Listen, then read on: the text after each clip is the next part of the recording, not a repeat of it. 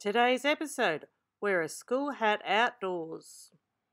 Ernie was sneaking around the school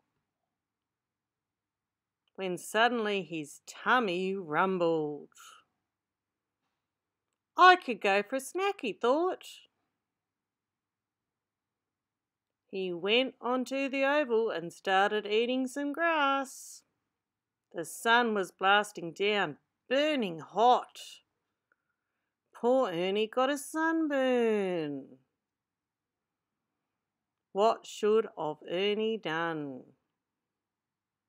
Ernie put on his school hat.